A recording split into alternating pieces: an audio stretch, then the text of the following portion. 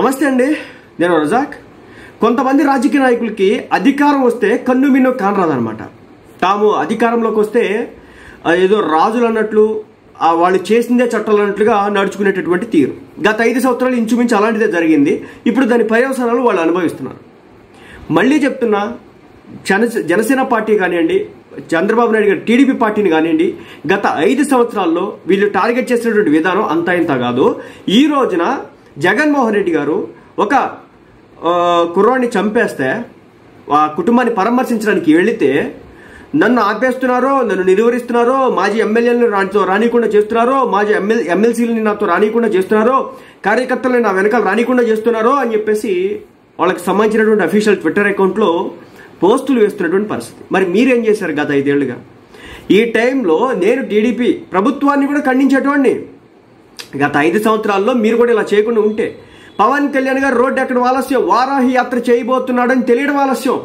ఒక రకమైన దుమ్మెత్తిపోయడం ఒక రకమైన మాటల దాడి ఒక రకమైన ఏడుపులు. వారాహి యాత్ర ఎలా జరిగిద్ది? పవన్ కళ్యాణ్ ఎలా ఎంట్రీ ఇస్తాడు? అసలు వారాహి వాహనానికి అనుమతులు ఉంటాయా? ఆ రంగేసుకొని రావచ్చా? అన్న దగ్గర నుంచి మొదలు పెడితే నారా లోకేష్ గారి యువగుళం పాదయాత్ర వరకు ఆయన పాదయాత్ర చేసుకుంటా పోతుంటే అక్కడ సభలు పెట్టకూడదు సమావేశాలు పెట్టకూడదు మైక్ సెట్లు లాక్కేసుకోవడాలు ఆయన రోడ్డు మీద నడవకూడదు ఇక్కడ ఇబ్బంది. ఇది కూడా పక్కన పెడితే నారా చంద్రబాబు నాయుడు గారు వివిధ సభలు నిర్వహించేవాళ్ళు అనమాట రోడ్డు మధ్య సభలు పెట్టకూడదు ఎల్లేదారుల సభలు పెట్టకూడదు ప్రజలతో మమేకం కాకూడదు. యాక్ట్ థర్టీ తీసుకొస్తాం ఎక్కడ వాళ్ళని అక్కడ నిలుపుదల చేస్తాం. ఇలాంటివన్నీ మనం చేసే వైజాగ్లో పవన్ కళ్యాణ్ గారు నోవైటల్కు హోల్కే జనవాణి కార్యక్రమం నిర్వహించడానికి పోతా ఉంటే అడ్డగించినటువంటి తీరును మీరు అప్పుడే మర్చిపోయినారా? తెలియక అడుగుతున్నా. ఈ రోజున సోషల్ మీడియాలో కొన్ని పోస్టులు పెట్టిన తర్వాత నాకు నాకు ఆశ్చర్యం కలిగింది. గత ఐదు సంవత్సరాల పాటు మనం చేసినటువంటి చేష్టలో మనం చేసినటువంటి పనులు మనం వ్యవహరించినటువంటి విధానాలు అప్పుడే మనం మర్చిపోతే ఒక నెల రోజులు ఎలా కుదిరిద్ది? పవన్ కళ్యాణ్ అనే వ్యక్తి నడి రోడ్డు మీదకి వస్తే జనవాణి కార్యక్రమాలు నిర్వహించుకోవడానికి వస్తే ఎన్ని రకాల ఇబ్బందులు క్రియేట్ చేసినారు? ఇదే పవన్ కళ్యాణ్ గారు వైజాగ్ వస్తుంటే ఏ విధంగా తనని ట్రీట్ చేసినారు? నారా చంద్రబాబు నాయుడు గారిని అరెస్ట్ చేస్తే పవన్ కళ్యాణ్ గారు స్పెషల్ ఫ్లైట్లో వస్తూ ఉంటే రానికుండా ఏ విధంగా ఫ్లైట్ ఆపగలిగినారు? ఓహో మీకు ఒక చట్టం పవన్ కళ్యాణ్కి ఒక చట్టమా? మీకు ఒక న్యాయం చంద్రబాబు నాయుడు గారికి ఒక న్యాయమా? మీరు అధికారంలో ఉంటే మీరు ఏదైనా చేయొచ్చు. రాజులు రాజులు కొడుకుల్లాగా చక్రవర్తుల్లాగా.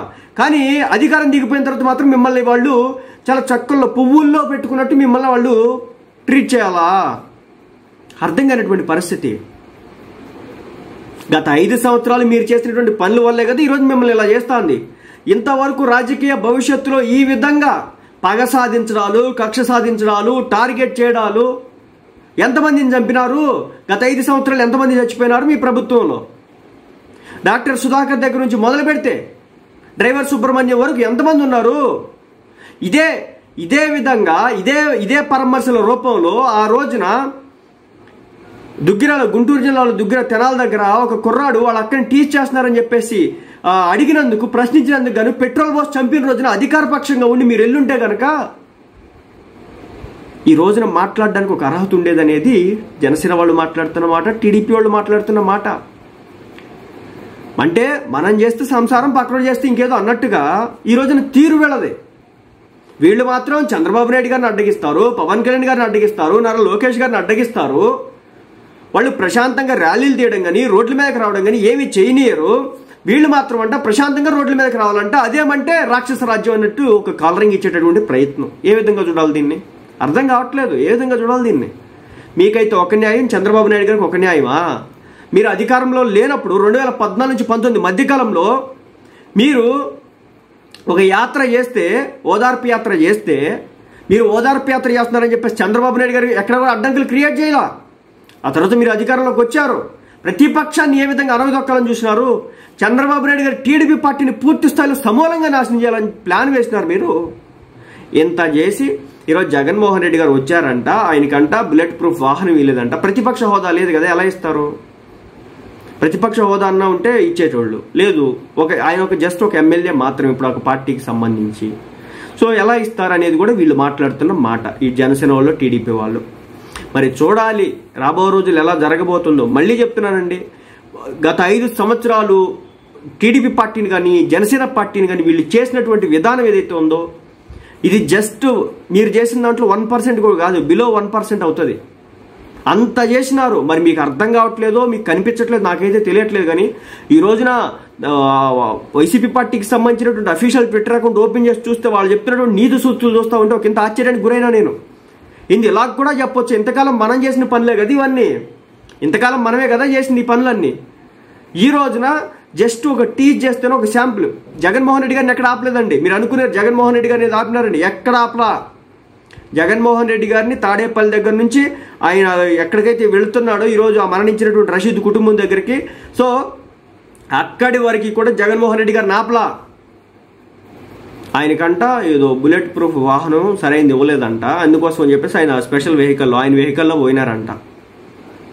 ఇవ్వలేదంట అందుకొని పోయినారంట. మరి చంద్రబాబు నాయుడు గారిని జైల్లో పెట్టి దోమలు గుర్తు గుట్టించిన రోజున మంచి చలికాలంలో అంత పెద్ద వయసు డెబ్బై ఏళ్ళ వయసు ఆయన్ని చలి నీళ్ళతో స్నానం చేయమన్న రోజున అంత పెద్ద వయసు ఆయన్ని ఇండియన్ కమోట్ని యూజ్ చేసుకోమన్న రోజున ఏ ఆ రోజు కూడా ఇలాంటి గుర్తు వస్తే కనుక ఈరోజు ఉండేది కదా. తప్పు చేస్తే తప్పు చేశారని చెప్పుకోవచ్చు తప్పు లేదు. సో చంద్రబాబు నాయుడు గారు స్కిల్ డెవలప్మెంట్ కేసులో తప్పు చేస్తే ఈరోజు ప్రశాంతంగా బయట తిరుగుతున్నారు కదా. మీరు లక్ష కోట్ల అవినీతో లేదా వెయ్యి కోట్ల అవినీతో వంద కోట్ల అవినీతో అని చెప్పేసి మీ మీద ఒక ముప్పై ఈడీ కేసులో రకరకాల కేసులు అయితే పెట్టినారు కదా. మీరు కూడా ప్రశాంతంగా బయట తిరుగుతున్నారు కదా. అల్టిమేట్గా ఏంటంటే మీరు ఏదైతే చేస్తారో మీరు ఏదైతే ఇస్తారో తిరిగి అదే ఇస్తారు గత ఐదు సంవత్సరాల పాటు మీరు ఏదైతే చేశారో దాంట్లో జస్ట్ ఒక శాంపిల్ చూపిస్తున్నారు. మీకు కూడా చూపించలేదు ఇంకా. మీ కింద నాయకులకు ఎవరైతే ఎమ్మెల్యేలు ఉన్నారో మాజీ ఎమ్మెల్యేలు. సో వాళ్ళంతా ర్యాలీగా వస్తున్నారట ఆయన ఆపేసినారట ఆ తర్వాత పవన్ కళ్యాణ్ గారిని ఆయన రిషికొండకి వెళ్తా ఉంటే వైజాగ్ వెళ్తూ ఉంటే కార్యకర్తలు ఎవరు ఎలా ఆపినారు? కార్యకర్తలు ఎలా నిలువరించినారు? ఆయన కారు వెళ్తా ఉంటే ఆయన వాహనం వెళ్తా ఉంటే ఎక్కడికక్కడ చెక్ పోస్టులు పెట్టేసి ఆపేసి ఆయన వెనకాల కార్యకర్తలు లేకుండా చేసినారు ఆ రోజున వైసీపీ పార్టీ గవర్నమెంట్. వైసీపీ ప్రభుత్వం ఆ రోజున అలా చేసింది. ఓహో! ఈ రోజున జస్ట్ టీచర్స్ చిన్న ఇస్తే మాత్రం నొప్పి పుడుతుందా అనేది టీడీపీ వాళ్ళు మాట్లాడుతున్న మాట. ఒకటైతే చెప్తానండి ఇవైతే ఇలాంటి రాజకీయాలే రాబో రోజుల్లో స్పష్టంగా అయితే జరుగుతాయి. ఎందుకంటే జగన్మోహన్ రెడ్డి గారు ఊరికే ఇలా ఏదో గిల్లేసి వదిలిపెట్టలా. మొత్తం కెలిగేశాడు సిస్టమ్ మొత్తాన్ని.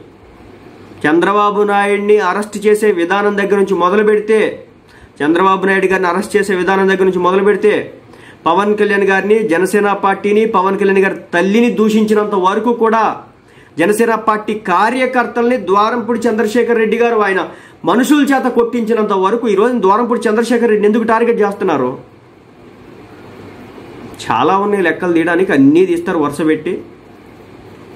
ఈ రషీద్దు అదేవిధంగా జిలాని వీళ్ళిద్దరితో ఒక పర్సనల్ ఇష్యూ అయితే అంటున్నారు. వచ్చిన ఇన్ఫర్మేషన్ ఏంటంటే ఎలక్షన్స్కి ముందు నుంచే వీళ్ళ మధ్య గొడవలు అయితే స్టార్ట్ అయినాయి.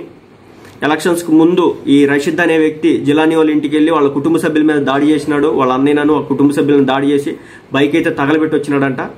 నిన్న మొహరం ఫెస్టివల్ కాబట్టి అందరూ పండగ పండగ చేసుకుంటారు కాబట్టి సో టైం దొరికింది ఖాళీగా దొరికాడు చంపినాడు అనేది వార్త యొక్క సారాంశం. సో నేను అదే చెప్పేది. రాజకీయాలని రాజకీయంగా చూడండి. వ్యక్తి వ్యక్తిగతం దాకా పోతే ఇలాగే తగలాడుతాయి జీవితాలు. మీరు నేను చెప్తున్నా కదా అటు వాళ్ళ కుటుంబం రోడ్డును పడితే ఇటు వీళ్ళ కుటుంబం రోడ్డును పడితే. జగన్మోహన్ రెడ్డి గారు వచ్చి ఒక రోజు సంతాపం తెలిపి వెళ్ళిపోతారు. ఇది ఒక న్యూస్ ఒక రెండు రోజులు న్యూస్ అంతకు మించి ఏ ఉండదు. చెప్తున్నా మళ్ళీ చెప్తున్నా అల్టిమేట్గా జగన్మోహన్ రెడ్డి గారి ప్రభుత్వం గత ఐదు సంవత్సరాల్లో ప్రత్యర్థి పార్టీలు డీల్ చేసినటువంటి విధానంతో ఈరోజు కంపేర్ చేస్తే అది point zero zero zero zero one percent మాత్రమే. అంతలా ఆయన టార్గెట్ చేసినాడు అనమాట సో రాబో రోజులు అన్నీ కూడా గట్టిగానే జరగబోతున్నాయి అనేది అయితే స్పష్టంగా అయితే ఈ ఇన్సిడెంట్ ద్వారా అర్థమైంది.